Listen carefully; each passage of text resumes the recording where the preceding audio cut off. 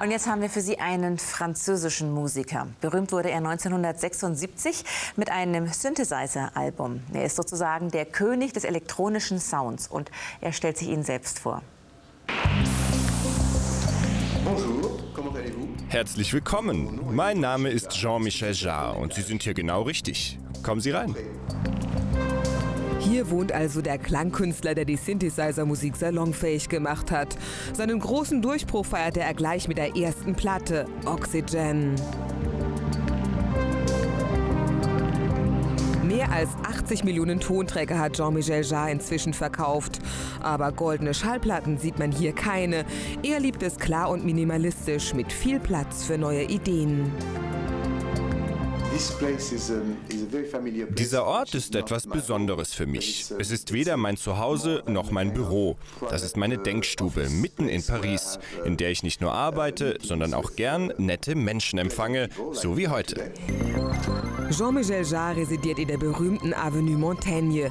Hier hat schon Marlene Dietrich gewohnt, wirklich mittendrin. Ganz unauffällig wirkt er nicht, wenn er mit weißem Künstlerschal und schwarzer Sonnenbrille durch die Straßen geht. Aber das stört in Paris keinen. Hier ist erlaubt, was gefällt und das gefällt Jean-Michel Jarre.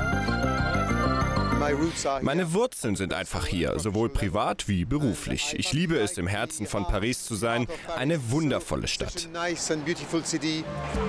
Aber Zeit für einen Stadtbummel hat er keine. Der nächste Termin wartet schon.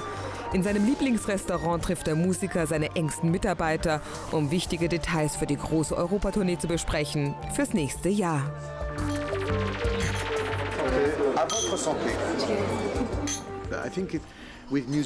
Ich glaube, dass Musik und viele neue Projekte einfach jung halten, geistig und vielleicht auch körperlich. Also das muss wohl so sein, denn seine 61 Jahre kann man kaum glauben. Angeblich tut er nichts Besonderes, weder für sein Aussehen noch für seine Figur. Als typischer Franzose liebt er das Leben und den Genuss und vor allem Schokolade. Ich habe das wahrscheinlich beste Rezept der Welt für Mousse au Chocolat. Es ist sehr einfach, ich kann es nur empfehlen. Es besteht nur aus Schokolade und geschlagenem Eiweiß. Keine Butter, kein Zucker, gar nichts. Und es ist hervorragend. Ortswechsel. Wir sind immer noch an der Seine, aber auf dem Land, etwas außerhalb von Paris. Hier lebt Jean-Michel Jarre mit seiner zweiten Frau. Und wie soll es anders sein? Hier arbeitet er auch, der Meister der elektronischen Popmusik. Ich verbringe sehr viel Zeit an diesem Platz, hier in meinem Studio. Gerade sind wir im Vorbereitungsstress, richten die Zimmer neu ein und räumen viel um. Deshalb sieht es hier auch etwas chaotisch aus. Zwischen seinen vielen Computern und Synthesizern fühlt sich der Musiker einfach wohl. Arbeit bedeutet auch Vergnügen für ihn. Und damit das Vergnügen bald auf unserer Seite liegt, wollen wir nicht länger stören. Schließlich hat er noch jede Menge zu tun.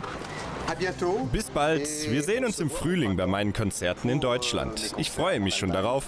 Bis dahin.